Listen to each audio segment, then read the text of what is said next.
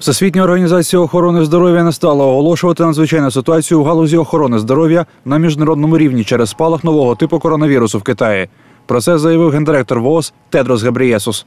Проте він наголосив, що це не означає, що ВООЗ не вважає ситуацію серйозною.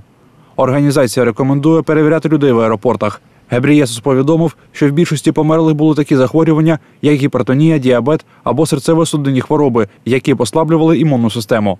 Наразі відомо про 25 смертей, викликаних вірусом. Підтверджено 616 випадків захворювання. Влада Китаю ввела карантин у трьох містах країни, заборонила в'їзд та виїзд із них. Окрім цього, в Пекіні було скасовано масові заходи на честь святкування нового року за місячним календарем, адже вірус передається від людини до людини повітряно-крапельним шляхом.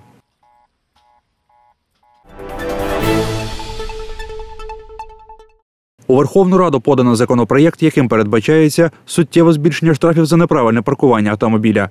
Згідно з ним за стоянку в забороненому місті пропонується підвищити штраф із 510 гривень до 3400 гривень.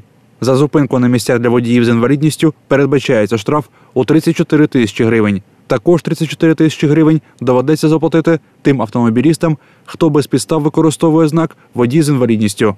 Згідно з законопроєктом, 70% цієї суми йтиме в місцеві бюджети, аби влада сумлінно робила розмітку в місцях паркування. Юристи додають, що чинні положення притягнення таких порушників до відповідальності мало результативні через відсутність ефективного механізму фіксації порушень, а також низькі розміри штрафів.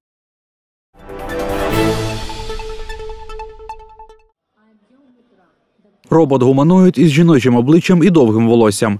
Такий вигляд має майбутній пасажир індійського космічного корабля Гаганян, який вирушить у перший безпілотний політ наприкінці цього року.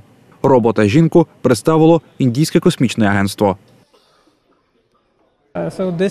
Основная цель в том, чтобы имитировать деятельность экипажа. Робот может выполнять операции на приборной панели и в случае чрезвычайной ситуации совершать некоторые действия, такие как замена баллона с углекислым газом.